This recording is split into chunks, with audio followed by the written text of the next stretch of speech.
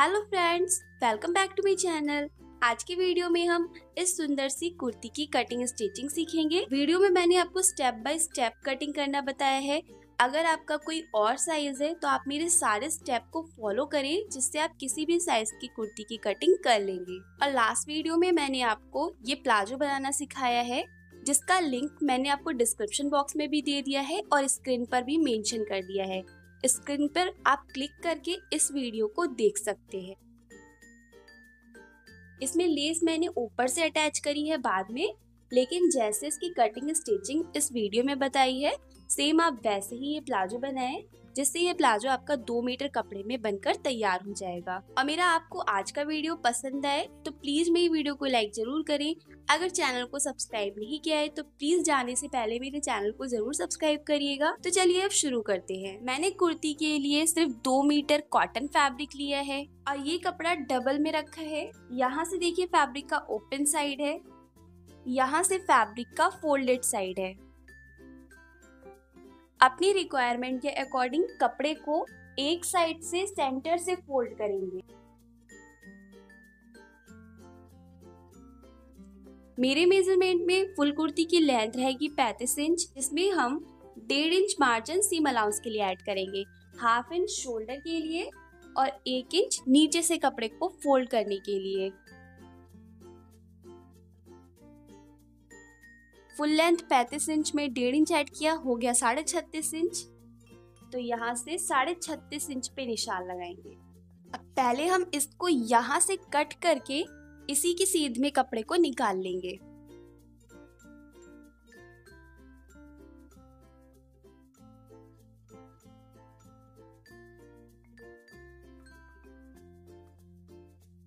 मेरे फैब्रिक का प्रिंट एक सा है, इसलिए किसी भी डायरेक्शन में हम शोल्डर की मार्किंग कर सकते हैं। लेकिन अगर आपके फैब्रिक का प्रिंट एक डायरेक्शन में है, जैसे मोटिव जो बने होते हैं, वो ऊपर के लिए जा रहे हैं तो ऊपर की तरफ़ शोल्डर की मार्किंग करें। फैब्रिक के प्रिंट का आप ध्यान रख के ही कटिंग करें। जैसा कि मेरा एक सा है तो हम किसी भी तरफ़ शोल्डर की मार्किंग कर सकते हैं। इस साइज़ में फुल शोल्डर लेंगे चौदह इंच जिसका हाफ़ हुआ सात इंच आर्म होल की लेंथ सात इंच लेंगे।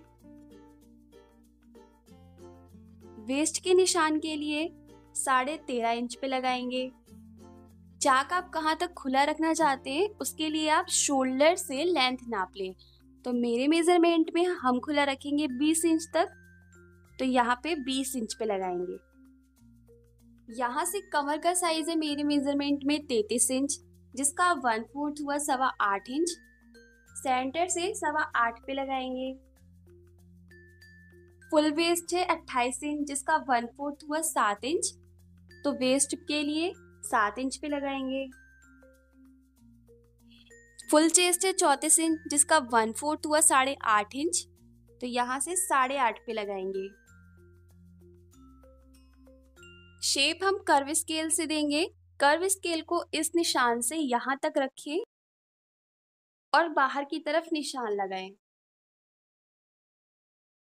फिर इसको ऐसे रखा और यहाँ से निशान लगाए। फिटिंग के निशान से आगे के लिए लगभग सवा इंच मार्जिन लूजिंग और सीम अलाउंस के लिए ऐड करेंगे। तो यहाँ से सवा इंच पे निशान लगा देंगे।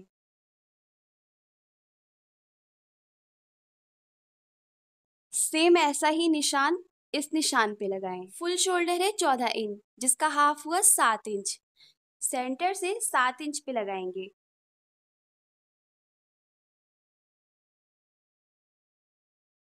नेक की विड्थ लेंगे सवा तीन इंच यहाँ से शोल्डर हाफ़ इंच डाउन कर दें। इस निशान को यहाँ से मिलाएँ। यहाँ पे आर्म होल का शेप दें। अब यहाँ से हम सेम निशान पे कटिंग करेंगे। अभी यहाँ तक ही करेंगे सिर्फ़।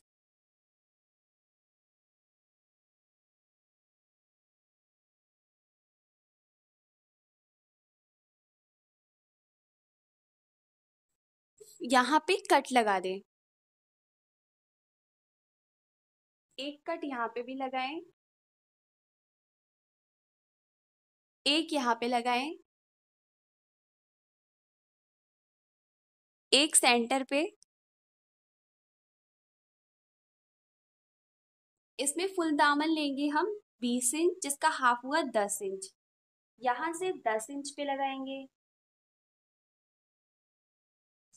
इस निशान को फिटिंग के निशान से मिलाएँ। नीचे से हमने एक इंच मार्जिन फैब्रिक को फोल्ड करने के लिए लिया है तो साइड से भी एक इंच ही कपड़ा फोल्ड करेंगे। तो यहाँ से एक इंच पे लगा दें और इस निशान को बराबर कर दें। अब यहाँ से कटिंग कर दें।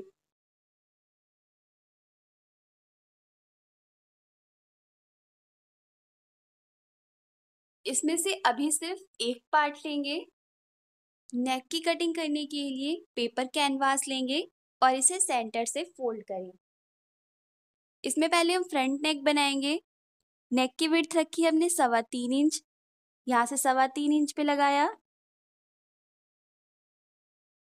मेरे मेज़रमेंट में फ्रंट नेक की लेंथ रहेगी सात इंच जिसमें हाफ़ इंच सीम अलाउंस का ऐड करेंगे। तो यहाँ से इस तरह क्रॉस में साढ़े सात पे लगाएँगे। अब इसमें आप अपने अकॉर्डिंग नेक का शेप दे दीजिए।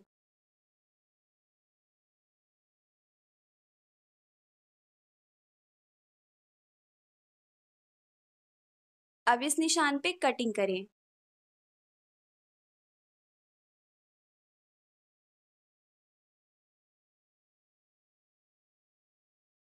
अब इस निशान से लगभग पौन इंच का मार्जिन लेके कटिंग कर देंगे।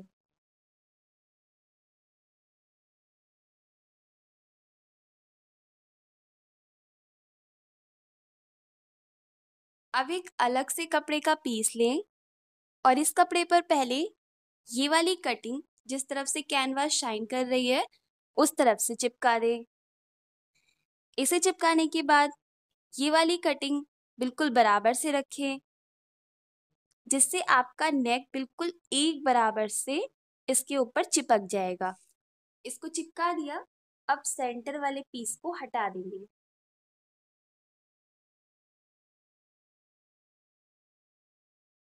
इससे नेक देखिए बिल्कुल एक बराबर से चिपक जाएगा।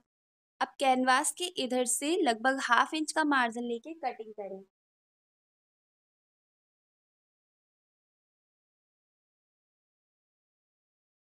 अब कैनवास के बराबर से कपड़े को फोल्ड करके सिलाई लगाएँ। अब इसे सेंटर से फोल्ड कर दें और सेंटर पे एक कट लगाएँ।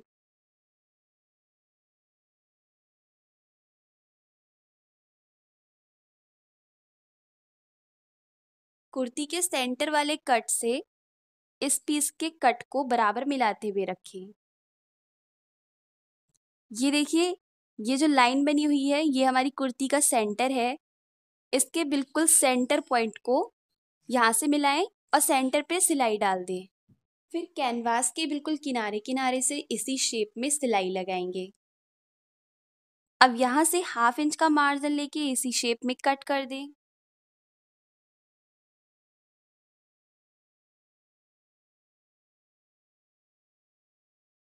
यहाँ पे कट लगा दें।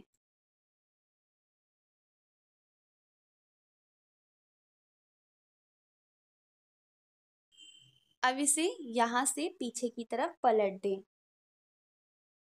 और ऊपर से कच्ची सिलाई लगाएँ। अभी कच्ची सिलाई लगाई है यहाँ पे।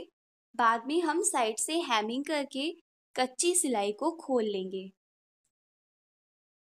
इसी तरह से मैंने बैक पार्ट में भी नेक को बना लिया है। अब इसके ऊपर उल्टा रखें और अभी हम यहाँ से सिर्फ़ एक शोल्डर ही अटैच करेंगे। और इसलिए इसको यहाँ से ऐसे रखेंगे और नेक के इसी शेप में बिल्कुल किनारे किनारे से सिलाई लगा के पूरी लेस को अटैच कर देंगे। जब पूरी नेक में लेस को अटैच कर लेंगे, उसके बाद ही यहाँ से शोल्डर को अटैच कर देंगे। आर्म होल को ऐसे फैला के रखें। क्रॉस पट्टी लें और इसे सेंटर से फोल्ड करें। फिर साइड से बराबर मिलाते हुए रखें। जब आप क्रॉस पट्टी को अटैच करेंगे तो आप इस आर्म होल को नहीं खींचेंगे। सिर्फ़ क्रॉस पट्टी को खींचते हुए ही ऐसे खींचते जाएँगे और बराबर मिलाते जाएँगे। इस तरह से इतना मार्जिन लेके सिलाई लगाएँ। अब इसे पीछे की तरफ़ पलट दें। ऐसे पलट देंगे और ऊपर से सिलाई लगाएँ। अब फिटिंग की सिलाई लगाएँगे। इधर भी सेम फिटिंग का निशान लगा दिया। आर्म होल से बिल्कुल बराबर मिलाएँ और फिटिंग के निशान पे सिलाई लगाएँ। जब आप फिटिंग की सिलाई लगाएँ तो जो हमने चाक का निशान लगाया है, यहाँ पे सिलाई को लॉक कर दें, फिर यहाँ से घुमाते हुए एक और सिलाई लगा लें। अब नीचे से दामन और चाक फोल्ड करेंगे। यहाँ से भी हमने एक इंच मार्जिन फैब्रिक को फोल्ड करने के लिए ऐड किया है। तो पहले इसे आधा फोल्ड करें, फिर इस निशान से ऊपर के लिए फोल्ड कर दें। और साइड से भी एक इंच का मार्जिन ऐड है तो पहले हाफ़ फोल्ड करें, फिर इसे एक बार और फोल्ड कर दें। यहाँ से जो हमारा फिटिंग का निशान है इसको बिल्कुल यहाँ से ऐसे फोल्ड कर दें। अब यहाँ से इसको बिल्कुल बराबर से वैसे ही मोड़ लें जितना हमने नीचे मोड़। ऐसे ये सेट हो जाएगा, अब इस पर एक निशान मार दें। कॉटन का कपड़ा है, इसलिए अच्छे से लाइन बन जाएगी तो इसको ऐसे फोल्ड कर लेंगे और बिल्कुल किनारे किनारे से सिलाई लगा देंगे। यहाँ से देखिए फ्रेंड्स दामन और चाक को फोल्ड कर दिया है। जब आप इधर से आएँगे तो यहाँ पे सिलाई को घुमाते हुए सेम इधर भी वैसे ही फोल्ड कर दें। अब आपको तीन तरीके की लेस लेनी है। ये मैट वाली लेस है, ये जिगजैग गोटा पट्टी लेस है और ये पॉम पॉम लेस है। इस लेस को इसके नीचे ऐसे रखें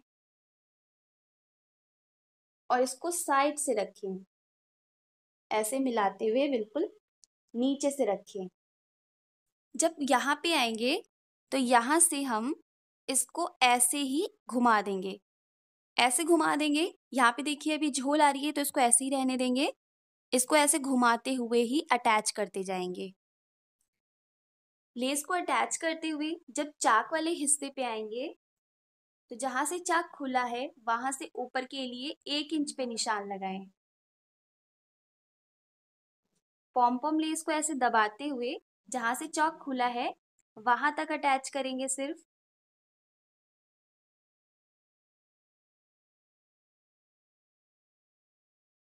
अब इसे यहाँ से ऐसे कर दें। इसको ऐसे मोड़ लें। इसका जो कॉर्नर है, ये इस निशान तक आ जाएगा। फिर इसको यहाँ से नीचे के लिए फोल्ड कर दें।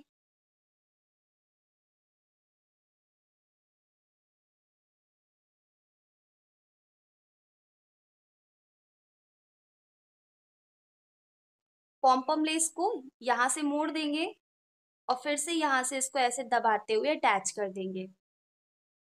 यहाँ पे आपको बिल्कुल मिलाते हुए ही इसको अटैच करना है, जिससे इस तरह से तिकोना टाइप का बन जाएगा। अब जिगजैग गोटा पट्टी वाली लेस लेंगे। और देखिए कॉर्नर पे हमने इसको ऐसे ही अटैच किया था। यहाँ पे इसको ऐसे रखेंगे, बिल्कुल साइड तक ऐसे बराबर मोड़ेंगे। फिर इसको पलट लेंगे इधर के लिए। जिससे ऐसे कोन टाइप का आराम से बन जाएगा।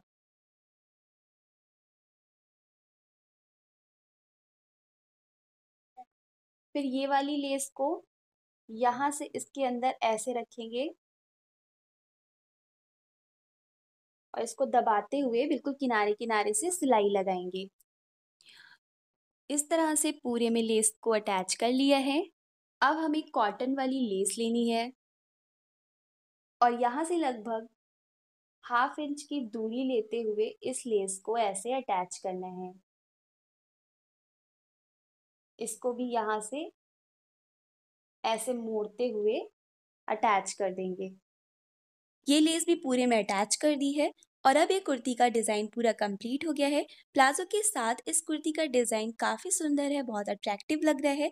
आपको अगर पसंद आया हो तो अपना फीडबैक हमें कमेंट बॉक्स में ज़रूर दें। वीडियो पसंद आया हो, लाइक ज़रूर करें। चैनल को सब्सक्राइब नहीं किया है तो प्लीज़ चैनल को सब्सक्राइब करके हमें सपोर्ट ज़रूर करें। मिलेंगे जल्द ही नेक्स्ट वीडियो के साथ। तब तक के लिए bye. Thank you for watching guys